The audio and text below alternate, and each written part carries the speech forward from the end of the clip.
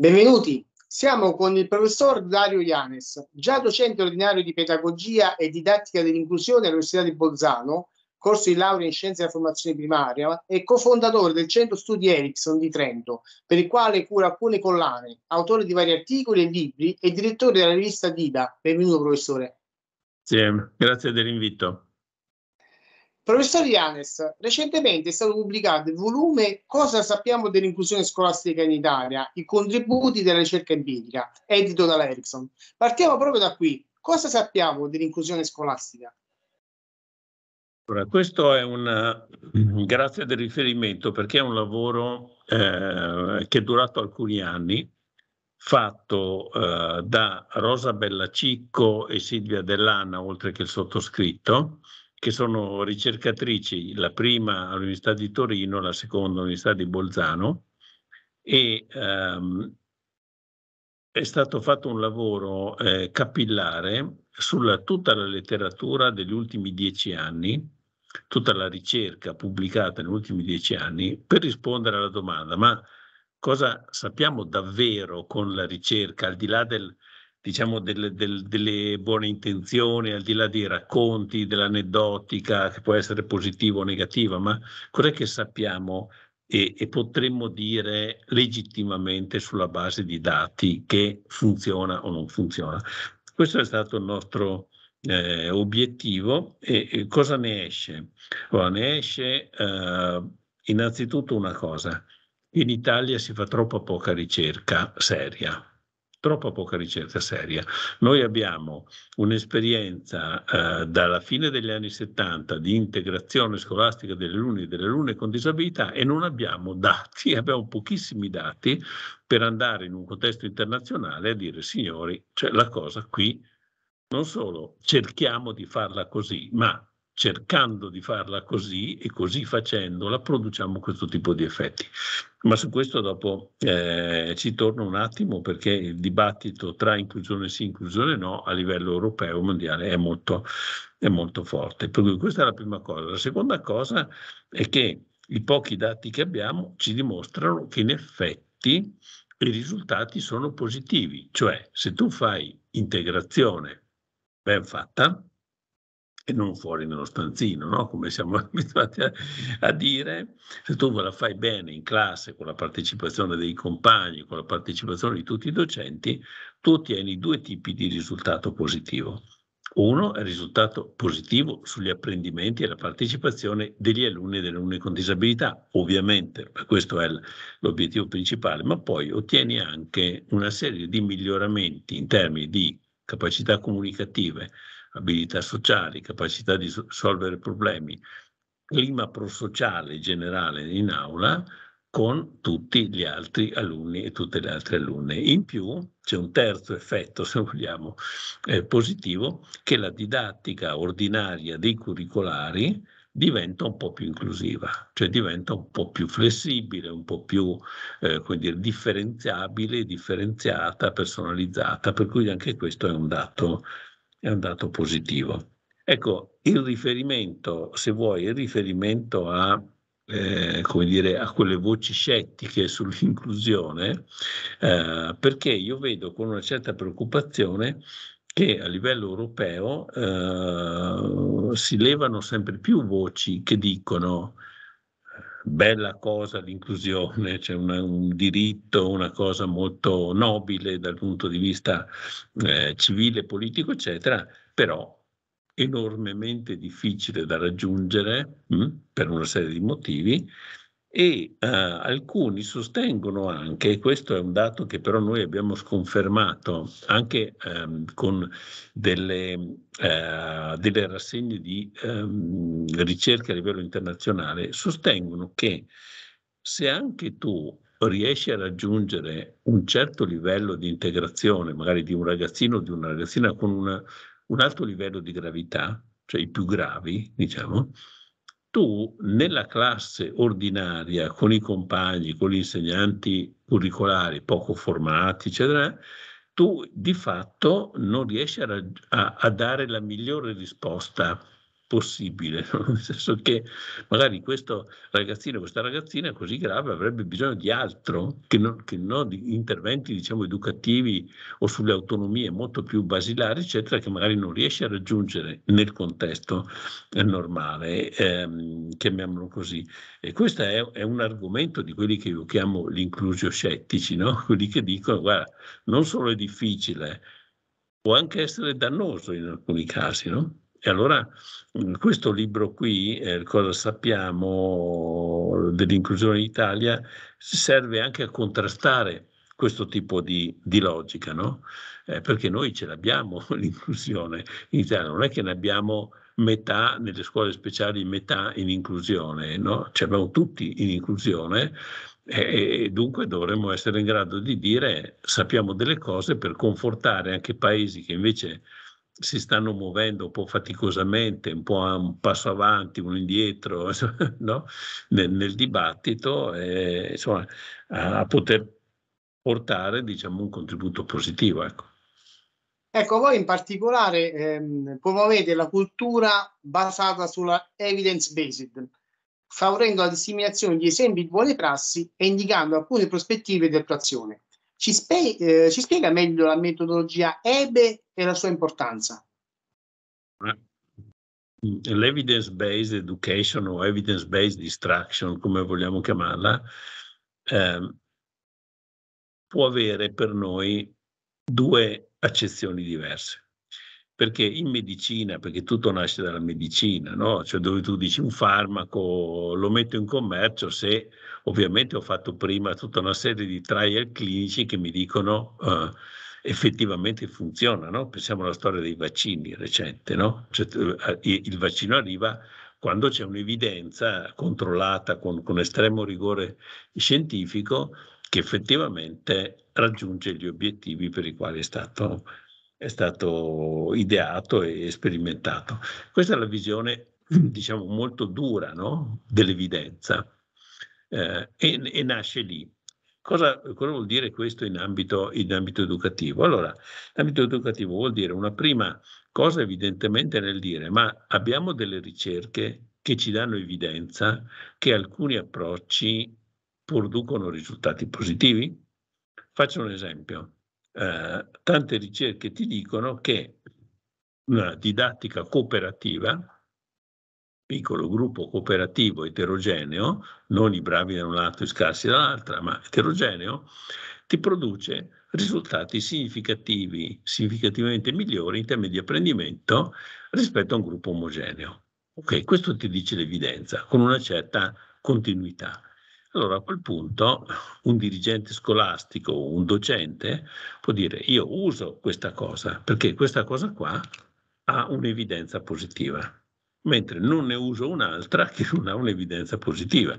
Un altro esempio, feedback, eh, anche qui la ricerca ti dice che dare un feedback costante, preciso sul compito, non sulla persona, cioè un feedback che colpisce diciamo, tutti i tentativi di apprendimento che una persona fa, questa è una leva efficace per produrre apprendimenti eh, e dà un valore di efficacia notevole. Allora a quel punto, se io sono un docente, dico, beh, no, se, questa cosa, se l'evidenza no, mi dice questo, io cerco di usarlo il più possibile questa cosa, perché eh, ha, un, ha, una, ha una, eh, un supporto scientifico per dire fare questo produrrà più, uh, più risultati.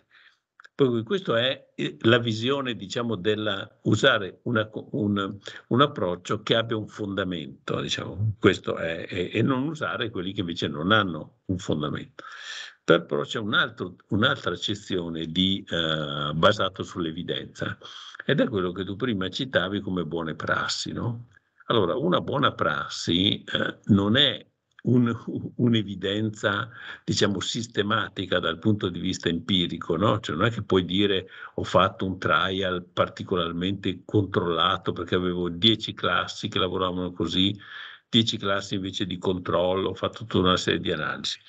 No, non hai questa evidenza, però ne hai un'altra, cioè hai un'evidenza che in quella situazione lì, con quelle persone lì, questa questa esperienza qui, questa pratica qui ha prodotto dei buoni risultati. Dunque, eh, tu puoi dire io informato di questo, cioè, perché l'ho colta, diciamo, provo a capire se anche nella mia realtà eh, questa cosa può funzionare. Allora è una forma di evidenza, diciamo, differente da quella di cui si parlava prima, però è sempre un'evidenza di cui abbiamo grande bisogno perché eh, quando eh, cerchi di inventare qualcosa, cerchi di guardare quello che hanno fatto gli altri, no? cioè per farti venire delle idee, per moltiplicare no? poi la tua, anche la tua creatività, la tua, la tua iniziativa. Per cui ecco, ba- basarsi sull'evidenza, mh, mm, io lo vedrei così. Da un lato quello rigoroso del, di un approccio scientifico, dall'altro lato quello comunque diffusivo di, delle pratiche che le persone fanno e che generosamente dovrebbero condividere, dovrebbero eh, dire, lanciare nel, nell'ecosistema formativo e non tenersene eh, strette dentro una propria, una propria scuola o addirittura un proprio armadietto. Ecco, quello che lei dice un po' ci conforta perché oggi fare inclusione diventa sempre più difficile. I bisogni educativi speciali sono in crescita e abbracciano aspetti sempre più complessi. Parliamo degli, dagli alunni con deficit fino agli alunni plus dotati. Tenuto conto di questa situazione, è ancora valido il modello di inclusione italiano? Allora, se pensiamo al modello di inclusione, eh, quello legato solamente alla disabilità, per cui certificazione medica, ore di sostegno, fine, scarso coinvolgimento dei curricolari, addirittura auletta di sostegno, è chiaro che quel modello lì non è, uh, non è, non è valido per un discorso di inclusione molto più ampio. Il discorso di inclusione molto più ampio uh, vuol dire non occuparsi del 3-4% degli alunni, quelli con disabilità, vuol dire occuparsi di tutti, tutti in, tutto quello spettro diciamo, di, di, differenze che vanno appunto dalla disabilità magari intellettiva grave o gravissima fino alla iperdotazione o plusdotazione particolarmente brillante, passando attraverso i DSA piuttosto che il BES, la migrazione, passando attraverso eh, l'infinita varietà delle differenze umane. Allora non è più pensabile che tu hai un fondamento medico, devo certificarti per sostegno, assistente l'autonomia della comunicazione, eh, o magari luoghi separati per fare delle cose. Cioè questo non, non, non può più funzionare no? per una visione più ampia dell'inclusione.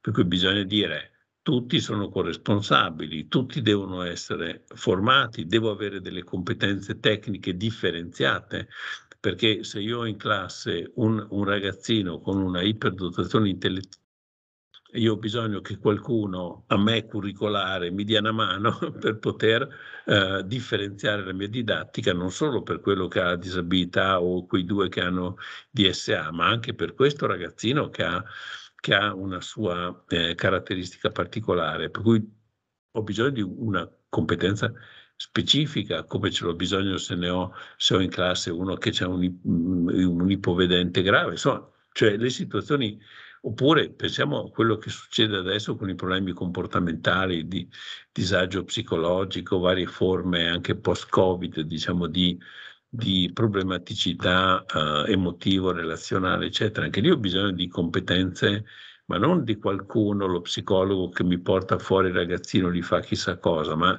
che io curricolare impari a gestirmi le cose in maniera sensibile a quel tipo di, di disagio, di difficoltà. Per cui, diciamo, un discorso inclusivo prende dentro di sé sicuramente quella quota di, eh, di ragazzi di ragazze con disabilità da cui siamo partiti negli anni 70, però via via, via via si allarga il discorso, si complessifica e allora tutto il sistema, tutto il contesto, direbbe Andrea Canevaro, diventa competente eh, per questo tipo di eh, moltiplicarsi delle differenze. Ecco, chiudiamo con un'ultima domanda. Lei prima accennava l'importanza di un coinvolgimento di tutto il gruppo docenti.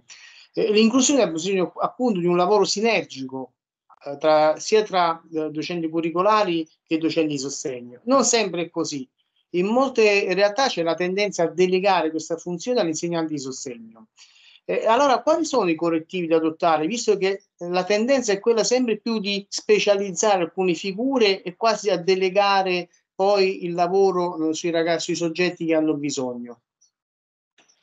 Questo è, una, è, un male cronico, cioè quello della delega, diciamo, un male cronico del nostro sistema, perché mh, è, come dire, insito stesso alla struttura del sistema, perché se io sono il curricolare poco formato, io insegno, supponiamo, matematica alla scuola secondaria di secondo grado, di pedagogia didattica non so nulla, non so nulla, perché ho studiato cinque anni matematica e poi sono stato catapultato nella scuola. In una scuola che non mi accompagna dal punto di vista didattico, sono da solo e cerco di arrabattarmi. Okay? Allora, io sono poco formato. Cresce il livello di stress e della difficoltà dei miei alunni perché i cambi diventano sempre più complessi, come si diceva prima. Se ho strutturalmente a disposizione un collega di sostegno che è lì perché ho in classe un alunno con disabilità e, e, la sua presenza, il suo stipendio, diciamo tra virgolette, è incardinato su quello, quell'altro, quell'altro ancora e non sulla classe come invece è il mio, a quel punto lì strutturalmente sarà altissima la probabilità che io deleghi a lui. Ti dirò, tu sei qua per lui, il pay te lo fai tu, la, no? le altre te lo fai tu, perché è il tuo è il tuo, ok. E questo è l'errore, perché è il mio, no? cioè il nostro alunno, no? Chiaramente. Allora, se c'è questa possibilità, non è necessario, ma è molto probabile che scatti un meccanismo di delega. Allora, come fare? Che tipo di correttivi mettere? Allora, un correttivo parziale, parziale è quello che, diciamo, eh, non ci sia più un sostegno a cattedra piena, ma ci sia una cattedra mista. Una cattedra mista che ti dice metà delle ore tu fai lettere, metà sostegno, già va nella direzione di normalizzare un po'. Non sei solo la figura di sostegno per quelli con disabilità, sei un docente di lettere perché quella è la tua competenza e fai anche ore di sostegno. Se riuscissimo in qualche maniera a distribuire le ore di sostegno dentro il quadro più normale, chiamiamolo così, tu eviteresti un po' i meccanismi delega. Prima cosa. Seconda cosa, i curricolari vanno formati. Vanno formati perché se io curricolare ne capisco un po' di più, cioè, allora capisco che posso anch'io adattare il, no, la mia didattica e espellere meno no? no? E, delegare, e, delegare, meno. In prospettiva io sono anni che continuo a, a immaginare e anche a sperimentare che si possa addirittura evolvere radicalmente la figura del sostegno. Perché se io come sostegno, immaginiamoci una scuola, una scuola che ne ha 20 insegnanti di sostegno, invece di 20 insegnanti di sostegno io ho 19 curricolari che mi fanno compresenza, co-teaching, co-docenza inclusiva, sono, arricchiscono l'offerta formativa.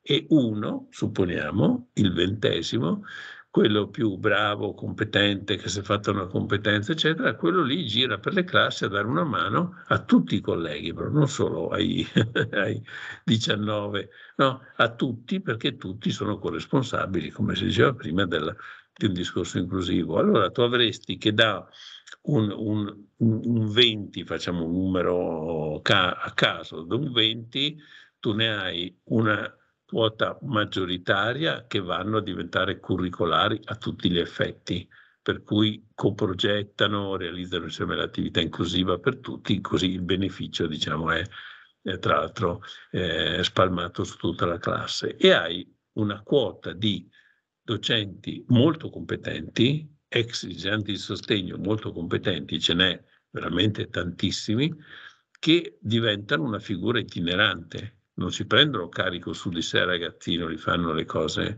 direttamente, ma vanno a dare metodologia a tutti i colleghi. Questo secondo me è il punto d'arrivo di un, di un discorso evolutivo, perché allora accanto all'ex insegnante di sostegno che gira per un certo eh, gruppo di scuole a dare una competenza legata so, a metodologie inclusive, eccetera, tu puoi avere anche altre figure il tiflologo, piuttosto che quello che si occupa della sordità, quello che si occupa della comunicazione aumentativa alternativa, quello che ne sa molto di autismo, per cui viene ad, a, a, spiegare ai colleghi eh, come si fanno a gestire ad esempio certe crisi da sovraccarico sensoriale, eccetera. Allora tu hai, diciamo, eh, eh, attorno alla scuola più potenziata dal punto di vista dei curricolari, hai degli ecosistemi, diciamo, di competenze che vanno a sostenerla. Allora a quel punto lì non avresti più la struttura che porta alla delega, perché non puoi delegare nessuno, no? Perché eh, siamo tutti coinvolti dentro nel discorso inclusivo. Grazie professor Ianes per essere stato con noi. Grazie a voi, in bocca al lupo.